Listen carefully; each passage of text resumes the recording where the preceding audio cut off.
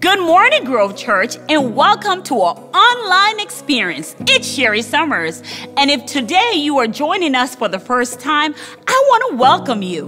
We are so excited that you are here, and we want to connect with you. Please go to the link below and fill out our online connection card and indicate that you are a first time guest. And we would love to send you a gift this week. Today, we will be starting a new series called Stop Going to Church. In this series, we will be challenged to be the church, not just attend. And we're looking at our Grove family values. But first, let's start with lifting up the name of Jesus together. So get ready, church, because worship starts now.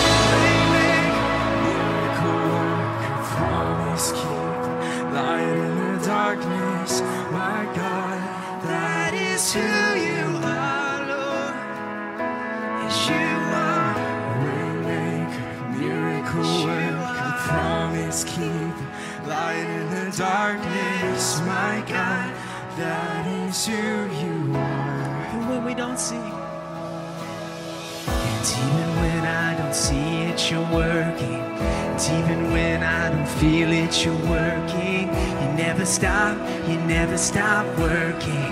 You never stop, you never stop working. Yes, even when I don't see it, you're working. And even when I don't feel it, you're working.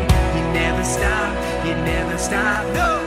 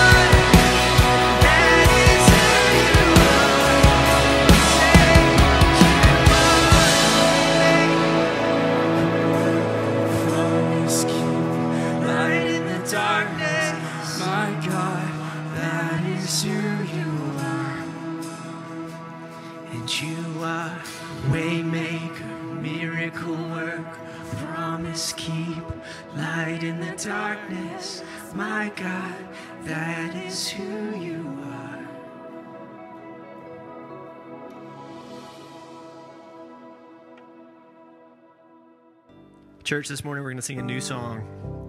And uh, this song comes straight out of Scripture. Number 6, verse 24 says, May the Lord bless you and protect you. May the Lord smile on you and be gracious to you. May the Lord show you his favor and give you his peace. And this is our prayer this morning. So let's sing this together.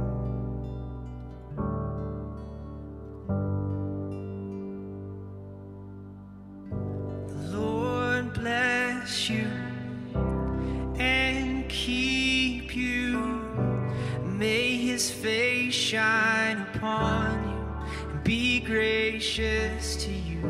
The Lord turn his face toward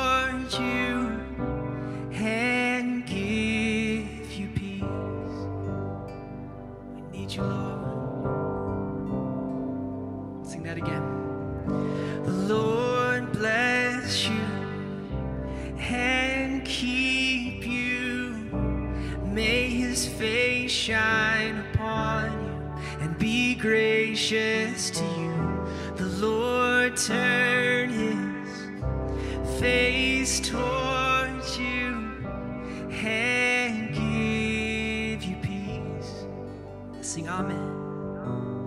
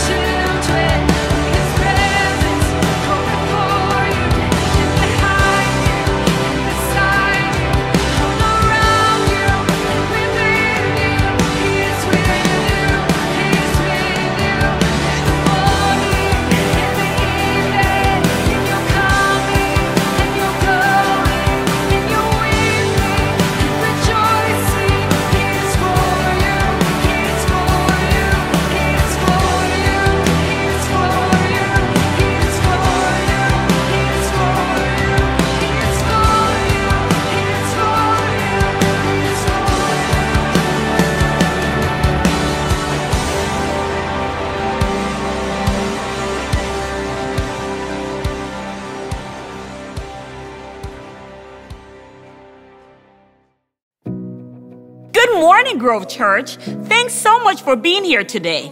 It's Sherry Summers, and I want to let you know about a few things coming up at the Grove that you might want to be a part of. Parents, Greenhouse Kids will be starting summer hangout on July 9th. Join us on selective nights this summer for free family fun. We have so many fun activities in store that you don't want to miss. For the full list, please go to our events page at this link below. Did you know that the Grove is opening the Grove Preschool? This ministry encompasses childcare for children beginning at age 8 weeks through after school for school age children through age 13. The Grove Preschool is a member of the Association of Christian School International. Our goal is to provide strong educational background while surrounding our children with love, support, and all based on biblical foundation. The Grove Preschool is set to open in August 2021, and registration and employment application are open now. To access those and for more information, including fees and our children parent handbook, head to thegrovepreschool.org.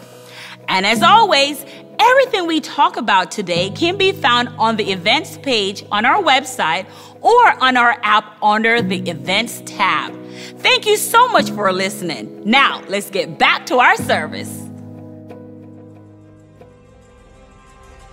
We wave high the flag of freedom as a patriotic reminder to never take our independence for granted. Fireworks explode into the night sky, lighting up the darkness, reminding us of our nation's calling in the world. One nation under God. We look into the sky and remember that for all the freedom we have to celebrate, we must never forget our dependence on God. It was by His hand we were afforded our independence, so we might stand for liberty, remembering He set us free from the bondage of sin. So we might stand for justice, for the Lord loves justice, and He will not forsake His saints. So we might stand for freedom, because we know that where the Spirit of the Lord is, there is freedom. We thank you, God, for the beautiful gift of our country. May we always depend on you to sustain us.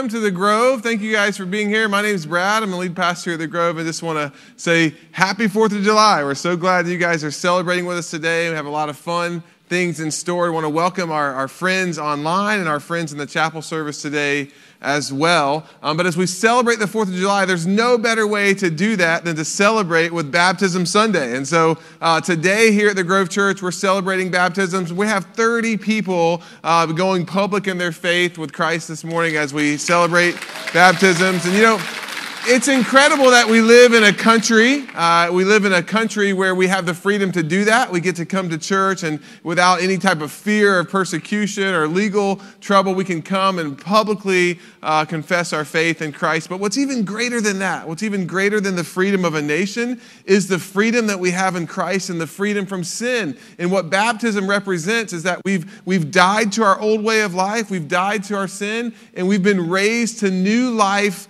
in Christ. And so we're so excited to celebrate with each and every one of those individuals today and baptisms. But you know, I, I am energized when, when I come to church and when we come together as a community, whether it be on Sunday morning or Wednesday nights or different things we have happening throughout the week. I'm energized to be around other people who are, who are pursuing a, a life with Christ. And you know what's really saddening to me is as I read uh, different statistics and different things that in our culture there's been a massive shift. And many of you guys have seen this, but, but literally uh, millions and millions of people are walking away away from the church.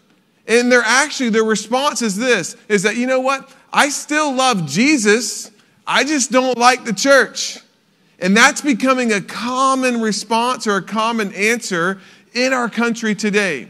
Uh, literally, millions and millions of people are saying, you know what? I'm open to the idea of faith. I'm open to the idea of Christianity. I'm even open to the idea of the person of Jesus but I want nothing to do with the church.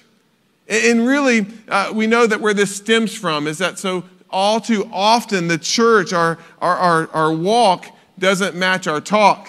And so, what our culture and what our community is seeing, they're, they're hearing one thing of what we represent, but they're seeing something different. And what they're seeing is a, a group of individuals that oftentimes uh, is very judgmental or very divisive. Or we know the famous, you know, accusation of, of they're just a bunch of hypocrites, right? Hypocrisy. And so what we've seen is that, that through, through years and years and years and years of, of individuals not walking this out or living this out, but claiming one thing, but, but living something different, our culture is saying, you know what? Like, I'm okay with Jesus. Like, I, I'm pursuing Jesus, but I want nothing to do with the church. And that breaks my heart, man. It breaks my heart. And, and even, even this past week, I got to sit at breakfast with a friend of mine who's working through some really, really tough struggles in life. And he sitting across the table, he shared open and honestly with me and said, You know, Brad, like I just, I, am seeking Jesus in this situation, but I do not feel like the church is somewhere that I can be accepted. I don't feel like the church accepts me because of my past and because of my decisions. And, and he was bold enough to just say it right out. Like, I, I, I'm pursuing Jesus. I'm seeking Jesus and his comfort and his wisdom in this situation, but I do not feel comfortable in the church. And then sitting there listening to that is just like heartbreaking to me because I believe that the church is the expression of Christ here in this earth, that this is God's plan A and there is no plan B. Like, this is what He said. Like, I will build my church. And the church will be the, the messengers of this, this good news, this life changing message of the person of Jesus. You know, the Barna Group, maybe you've heard of them or maybe you haven't, but they're a large scale kind of research group that does research uh, on the areas of, of faith and spirituality in church growth. And in 2017, they put out this study of the top 20 most unchurched cities in America. And you guys could guess, you know, you could guess those top cities of Vegas and, and Seattle and in LA and in Boston and Portland, Oregon, these churches that we would kind of uh, stereotype as, man, you know, probably not real, real excited about the church or, or, or, or, or morality or even Christian or biblical values. But I want you to look on there at number nine. Look who made the list at number nine. What Barna Group did was based on population. They made a triangle from Melbourne over to Orlando, over to Daytona. So if you kind of make a triangle, of those three points, we're, we're right there, uh, coastal central Florida in that triangle. And based on population, we're number nine on this list. Top 20 unchurched cities in America. People that said, man, I don't want anything to do with the church. And this is eye opening to me. And in, in, in, several conversations and meetings I've been in with other leaders and pastors, we've brought up this chart to say, man, there's a great need in our region. There's a great need in our community for the church and for the gospel of Jesus Christ. But this next list is even more staggering because the top 20 unchurched means that these have not been to any type of church service or program in six months. But this next list is the top 20 most de-church cities. And what that means is that these people were once highly involved in church and in the last six months have walked away and said, I want nothing to do with the church. So these aren't people who just have no interest or have had no interest. These are people who at one point were involved and participating in the work of ministry and now saying, I don't want anything to do with the church. And look what happened We jumped the list. We went from number nine to number six to say, man, the most sixth most D church city in the United States is our coastal Central Florida area right here, including Brevard County. You know, and as we as we look at this list, we're thinking, what in the world? How do we make the list with Nevada? How do we make this list with Las Vegas and Seattle? Like these cities that we think of, like, man, like they're they're they're they're far from God. But here we are. And this is the reality. This is the reality of our region and, and where we live. And so what I want to do is I want to I want to challenge us. What would it look like? What would it look like if we begin to live out, not just talk the talk, but, but walk the walk, and we begin to live out the characteristics of Christ?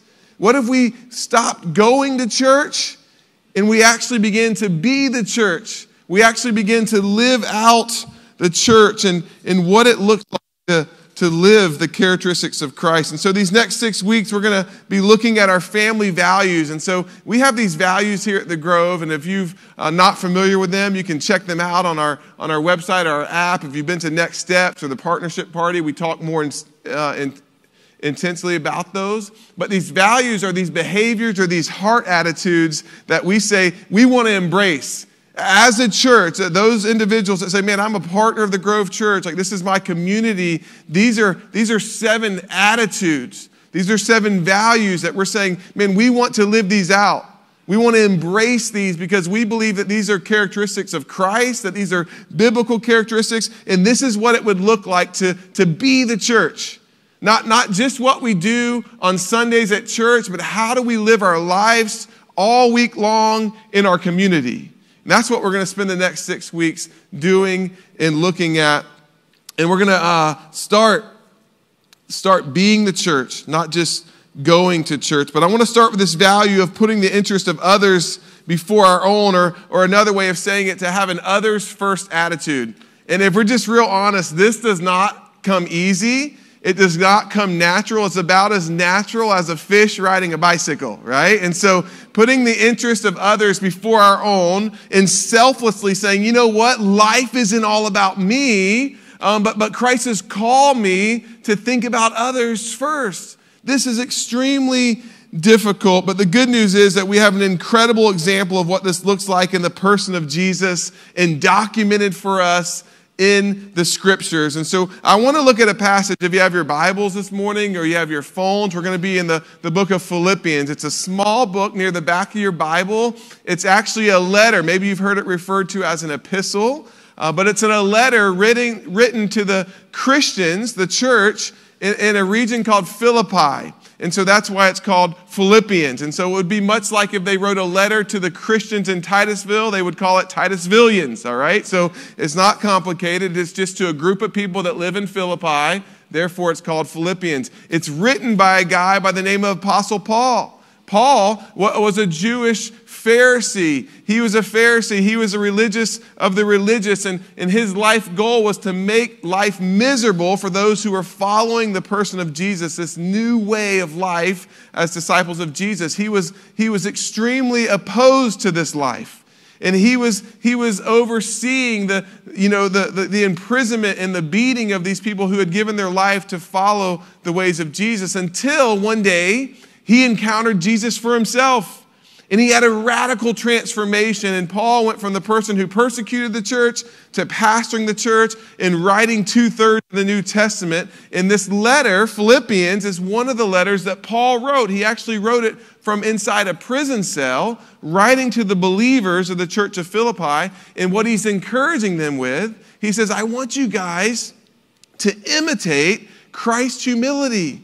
It's so important that we, we look at the life of Christ and the way that he lived out humility and that we imitate this humility. Look with me in Philippians chapter 2, uh, starting in verse 3 through 5. He says, Do nothing out of selfish ambition or vain conceit. Rather, in humility, value others above yourself, not looking to your own interest, but each of you to the interest of the others. In your relationships with one another, have the same mindset as Christ Jesus.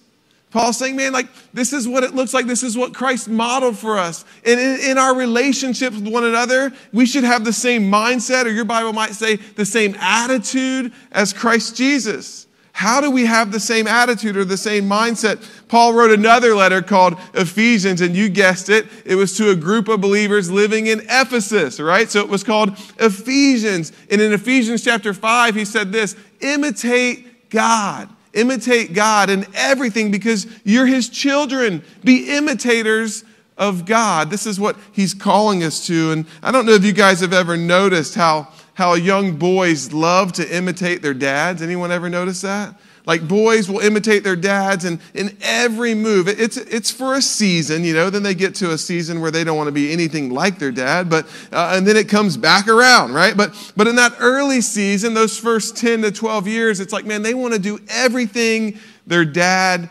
does. They imitate their dads. And, and I'm raising my sons up right. And so I'm taking them to the gas station on a daily occurrence, right? And getting fountain drinks because that's what men do, right? That's what men do is we go to the gas station and, and we get fountain drinks. And, and it happens every single time. We get to the counter and I, I get my styrofoam cup. Everyone knows that, that you only drink fountain drinks out of styrofoam cup. So we get styrofoam cup and my son gets his styrofoam cup and we make our way to the counter and every single time without fail, whoever's working at the, the register will say, Hey, are we out of lids? No, you're not out of lids. We just don't drink with lids. We're men. And my son will say, No, we don't, we don't need lids. We don't need lids. And he's very confident, you know, like this is, no, I don't need a lid. I don't need, what do I look like a toddler? I don't have sippy cups over here. Like, I don't need a lid. And you know, it, it, never, never fails. He, he spills half of it between the cash register and the back seat of the truck, but he's imitating every move. He says, No, dad doesn't have a lid in a straw. I'm not going to have a lid in a straw. And you know what Paul's telling us? What he's telling the believers in Philippi and he's telling the believers in Titusville today? He said, Man, if you want to know how to deal with life situations, if you want to know how to, to, to deal with the relationship situations you're working through and to, how to care for others and put the interests of others before your own, imitate Jesus. Man, imitate Jesus, imitate his every move. Watch how he did life, and let's imitate the person of Jesus. He goes on in verse 6 through 8 and gives us these specific ways, three specific ways that Jesus modeled this for us. If we're going to live an others first life, if you're tracking with me in your program, write this down. The first thing we got to do is we got to maximize our view of God. We got to maximize our view of God. Look what it says in verse 6. Who being in very nature God, did not consider equality with God something to be used to his own advantage. Remember, he's talking about the person of Jesus. He says, Jesus, being in very nature God, he was the God man.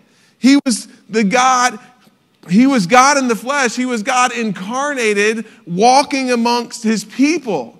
It says, Jesus, even though in very nature he was God, did not consider equality with God something to be used to his own advantage. Jesus even recognized in his fleshly body that, that he maximized his view of the Heavenly Father. He maximized his view of God and said, you know what, I'm not, I'm not going to put myself on equal platform as God the Father. You know, we, we, we have to get into this habit of maximizing our view of God. Now, I know that none of us here would say that we put ourselves on an equal platform with God. Hopefully not. None of us, if you do, that's like a that's an actually medical uh, condition called the Messiah complex that people suffer from that and they actually put themselves and think that they're a God. I don't know if anyone in here suffers from that, but most of us would say, yeah, obviously I'm not God. I recognize that. I believe that. God is much more powerful than I am.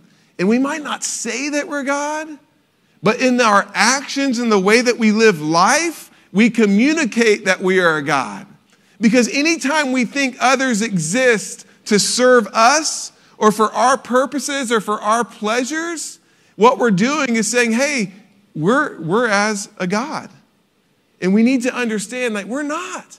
That God is the only one worthy of being magnified at that level. God's the only one worthy of others surrendering and serving with their lives for Him. Not, not for us, it's not about us. But we maximize our view of God and, and we help put things into perspective. When we maximize our view of God, it causes everything else to lose focus. But oftentimes in life, we maximize the wrong things, don't we? We maximize our troubles. We maximize our worries. We maximize our fears. We maximize the importance of money or of things. Or what about this? We maximize our view of ourself. And when we maximize any of these things, we can't experience the life that God has for us because our, our vision is consumed with things, everything but God.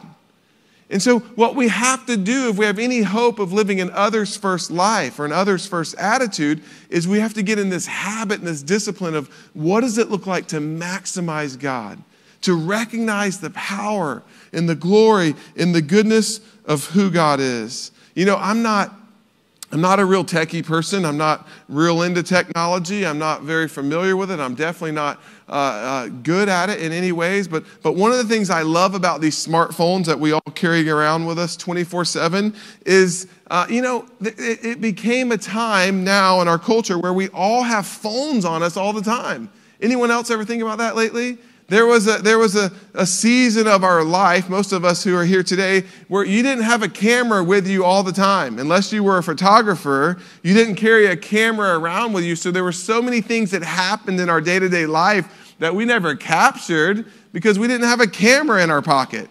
Now, with smartphones, we all have a camera 24 7, and we capture so many of life's events. And the camera in my smartphone is probably one of the greatest features or my favorite features of a smartphone. Uh, it's definitely not texting, it's definitely not social media, it's definitely not even the phone capability. I could go without that, I think. Like, that would be perfectly fine if no one ever called me or texted me again, right? But the camera is really cool. It's cool to be able to pull out their camera when your kids are doing something for the first time or something special, that just to snap a camera. And then you can open that photo and you can scroll through your photos for previous years. Anyone else do this? You scroll through your photos and you have a favorites folder of all your favorites photo. And, and anyone like to do this? You know what I'm doing? What am I doing right here? I'm zooming, right? I'm zooming in on these photos because I want to see certain parts of these photos more, more magnified. I'm magnifying certain features of this photo because I want to see this photo. And how cool of a feature is that that we can do on our smartphone? Anyone else done this? Has anyone looked at a paper photo recently and, and tried to zoom in on it? Anyone done that? I've done that. Like in the, in, in, the most recent month, someone hand me a photo or a picture out of a magazine, and I would do that. I'm like, what the heck am I doing, right? Like, we're so accustomed now to these devices that we can zoom in on pictures. Like that, that was never an option before, you know? Um, but you know what? We zoom in on things, and maybe you zoom in if you find a really good picture of your bride or whatever that is. You zoom in, and then you can crop it where she's just kind of filling the whole picture, right? And you know, and it's like, man, I'm magnifying this picture because it's worthy of, of being magnified. And I want to share a photo with you guys. So check this out. This is a photo. Uh, me and a couple of the guys. This Pastor Will, Pastor Travis. Back in April, uh, we traveled out to Texas to visit a friend's church and an event that was going on in the Fort Worth area. And when we got to the airport in Fort Worth, Dallas Fort Worth Airport, we said, hey, the first thing we're going to do before we even look up directions to the church is we're going to find some Texas barbecue. The first thing we're doing off this plane is finding Texas barbecue. So we found this place in, in the Dallas Fort Worth area called Terry Black's. And if you're ever in that area, you need to find Terry Black's. It's an incredible barbecue joint. And this kind of snapped a picture of two strapping, handsome men right there Pastor Will, Pastor Travis, repping his Grove swag, sitting in this incredible barbecue restaurant with just a really, really, really good atmosphere. All of the food, the service, everything was great. And this picture kind of, uh, uh, it, it, captures all of that in the moment. And I look at that picture and remember, man, that was a good day. That was a whole lot of fun. But check it out. What's really worthy of being magnified? What the greatest thing in this picture that needs to be magnified and needs to be brought to the attention uh, before everything else is this next picture. Check this out. That that is one massive beef rib, all right? That is one rib. So when you order ribs, you don't order ribs at Terry Black's, you order a rib, singular.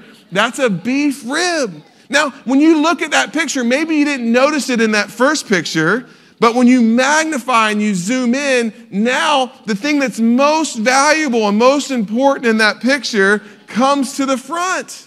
It's worthy of being magnified. And now, you know what happened? Our view was consumed with what was most worthy, what was most worthy of being magnified. But what happened to Will and Travis?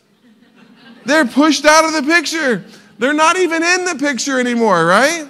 What happened to all of the other surrounding things in that photo? They're no longer there. And, and I share this with you to share this. When we magnify God, when we learn to magnify God, so many other things in our life that are maybe fighting for our attention, that are maybe acting as distractions in our life, when we zoom in and we magnify the person of God in our life, everything else falls out of the scene.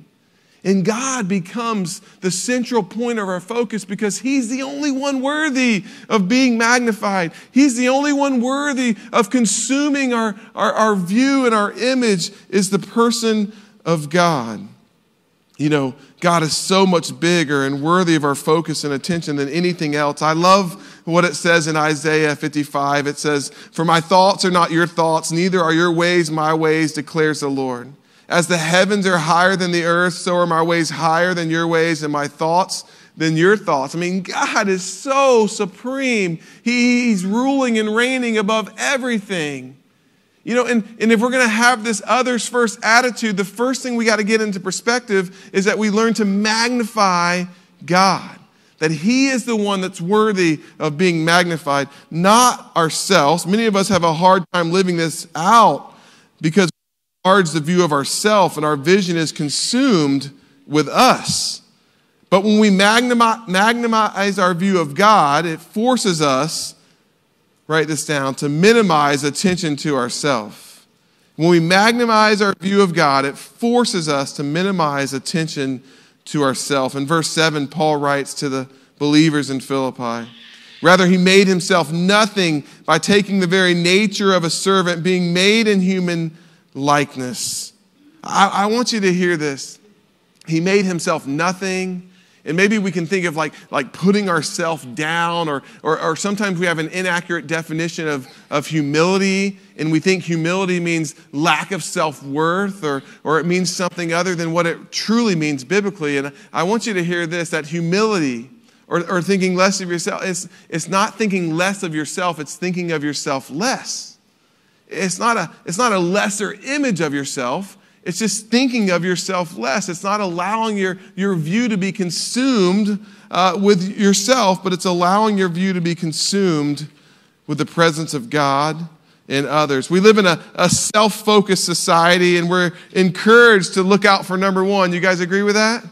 I mean, we hear all types of slogans in our culture of to, to look out for number one. We, you know, hey, treat yourself because you deserve it. How do you guys hear that on a weekly basis? Treat yourself. You deserve it. You know, uh, anytime you, you deserve it, you've worked hard. And it's like this, this motto in our, in our culture of like, hey, just take care of yourself. Just treat yourself. Don't worry about those around you. You deserve it. You deserve to treat yourself the best you can. And now there might be a hint of truth to that, that we need to care for ourselves, not to neglect ourselves, but it can easily be skewed, right? It can easily be skewed, and we can allow ourselves to become the focus of all of our attention, but we need to learn to minimize attention to ourselves. You know, we live in a selfie focused world. You guys know that over 200 million selfies are taken a day. Over 200 million selfies are taken a day. And you guys know what I'm referring to, right? Like the selfies when you see people like posing and using their arm as an extension. And it's not, it's nothing out of the norm today in 2021 to be in a restaurant, to be on an airplane, to be at the beach, to be in the office, to be in the middle of a meeting. You can be anywhere and people are taking selfies. And I don't mean teenagers. I'm talking about grown adults. I'm talking about grandmas and grandpas taking selfies in public places. And I'm just going to tell you, it's awkward. It's awkward. So if you're addicted to the selfie movement, just know everyone's looking at you and you look awkward. You look awkward. And so we're at the beach on Friday and I'm with my family and we're sitting there and this family comes up and they spread out their blanket right next to us. And there's a mom and a dad and two look to be teenage children. And the mom gets her stuff all set down and, and she turns her back to the water and she begins to do a photo shoot with herself. A selfie. Not the teenagers, the mom. And I'm just thinking, this is the weirdest phenomenon ever. What are you doing with those photos? You know, like turn the camera around and take a picture of your kids for Lord's sake, right? Like, why are you snapping pictures of yourself? What are you doing with those? But we know what's happening with those. There's a, there's a social media craze, right? And we're looking for acceptance and we're looking for recognition. And so we're going to find everything we can to post pictures of ourselves and let everyone know how awesome of a day we're having. And if we're having a crappy day, we're still going to smile on our selfie and we're going to pretend like everything's okay because it's on social media. And we want everyone to know how good our life is. And we want to compare our highlight reel to everyone else's blooper reel. Let me post a selfie. We live in this, this crazy phenomenon of, of, of, social media and selfies, and what it really represents is we're just consumed with ourselves. But if we're gonna live an others first attitude, if we're gonna embrace this value, we gotta learn to minimize attention to ourselves. We gotta learn to maximize our view of God and minimize our attention to ourselves. If we're gonna ever see the needs of others, we gotta have to stop looking at ourselves for a bit. And others' first attitude makes it less about us and more about him and more about them. I love the way that John says it in the Gospel of John, chapter 3, verse 30. He says, I must decrease and he must increase. What an incredible passage of scripture, right? That's probably one to, to memorize there. I must decrease and he must increase. Whatever's going on in my day, it needs to be less about me and more about Him if I'm going to live out this value of putting the interests of others before my own. Have you guys ever met someone who constantly deflects attention from themselves to God and to others, where it's less about them and it's more about God?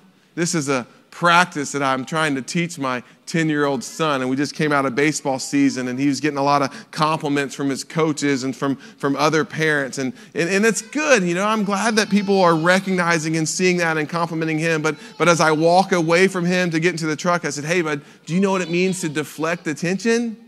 To deflect attention means, hey, you can receive a compliment. You can say, thank you, ma'am. Thank you, sir. Thank you, coach. But you can deflect it by saying, you know, it wouldn't be possible without an incredible team. I'm really grateful for my teammates. I'm really grateful for God and the abilities or the talent that He's given me. And what you just did was you received compliments, but at the same time, you've deflected the attention to Him and to them. Let us be men that deflect attention not people who are constantly receiving it and hoarding it for ourselves. When we maximize our view of God and we minimize attention to ourselves, then lastly, you can write this down, then we can emphasize the needs of others. In verse 8, Paul goes on to say, and being found in appearance as a man, Jesus, he humbled himself by becoming obedient to death, even death on a cross. Man, the ultimate act of service. Jesus emphasizing the needs of others, that he humbled himself, he became obedient to death, and even death on a cross. When we make it about others and we deflect attention from ourselves, there's not a lot of public praise, there's not a lot of recognition. But I want you to hear this we're never more like Jesus than when we serve others. We're never more like Jesus than when we serve others. When I think of someone who models an others first attitude and constantly emphasizes the needs of others, I can't help but think of, of one of our own, one of our own men here at the Grove, and he would never recognize or, or share about himself, obviously, because, because he's a man of humility. But, but when I think about someone who just every time I'm in a conversation with them, there's something being brought up of ways that he can serve either his family or the community or, or someone in the church or a ministry in the church. And I think about my good friend, Josh Gerard. Josh Gerard, some of you guys might know him. Uh, he's, part, he's a partner here at the Grove Church. And Josh serves in so many areas. Josh serves with our men at our Walkabout Recovery Home. Josh serves in our Lifeline, Lifeline Recovery Ministry. Josh serves on our facilities team. Josh serves in the student ministry on Wednesday nights. Josh is teaching the fourth, fifth, and sixth graders this morning at the Rise service. And it's not just that he serves all of these ministries at the church. In my daily conversations with Josh, he's serving his wife, he's serving his children, he's serving coworkers, he's serving strangers constantly telling him things, someone he met at the gas station or met on the side of the road, and that God just gave him this impression to, to serve and to stop and to help. And this guy embodies what it means to live an others first attitude or life. It's an incredible thing to witness. I'm inspired by him. I'm inspired by his heart to serve. And you know, when I when I see Josh Gerard, I don't just see someone who loves to serve, but I see an expression of Jesus.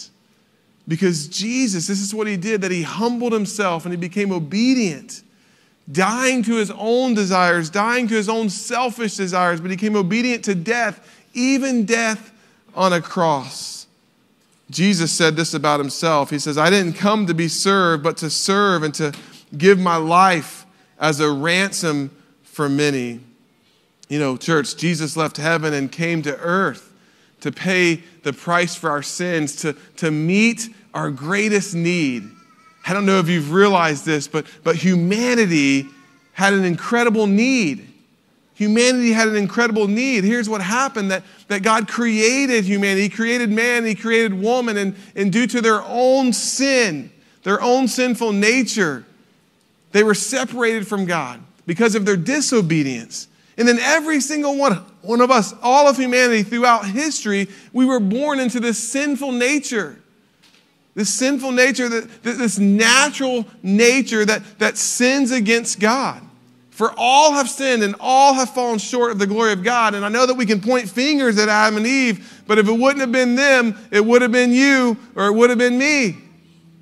All have sinned, all have fallen short of the glory of God. And this sin separated us from a holy God. We could have nothing to do with God because He is holy and without sin and can have no interaction with sin. It, doesn't change the truth that God is madly in love with you and that God forgives you, but He can have no interaction or relationship with us until that sin is dealt with. This was a massive need. And Jesus, emphasizing the need of humanity, left heaven and came to earth to live the life of a servant, to die the death of a criminal, to pay the price for all of humanity's sins, meeting our need. This is incredible. You know, Jesus didn't have this need. Jesus didn't have a need for his sins to be forgiven because he was the only one who was without sin. Jesus was perfect. He was holy. He was without blemish. He didn't have to pay for his own sin because there was none. But what Jesus did and what he came to do was not for himself, but completely for us. That Jesus willingly went to the cross to cover the price of sins for you and for me. This is what, I re- this is what I'm referring to when we have this incredible model of someone who embodied what it means to, to live another's first attitude that Jesus, even though equality with God could have been grasped, it wasn't.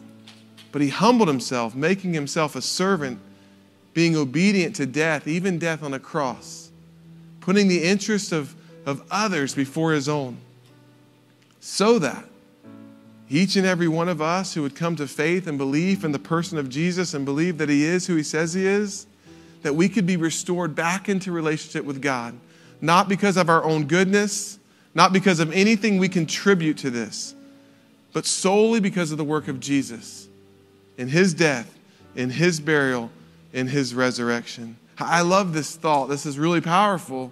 The only thing we contribute to the gospel The only thing we contribute to this gift of, of salvation is the sin that makes it necessary. We bring nothing else to the table. We bring nothing good to the table. The only thing that I have to offer in and of myself is my sin. And Jesus says, Hey, bring me your sin, and I'll take it from there. I'm willingly going to go to the cross to die on your behalf, Brad. I'm going to pay the price for your sin.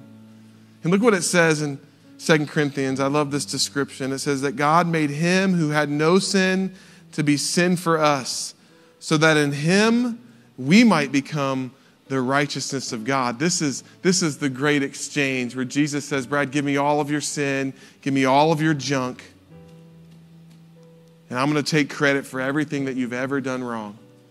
And in trade for that, I'm going to give you all of my righteousness, and I'm going to give you credit for everything that I've ever done right.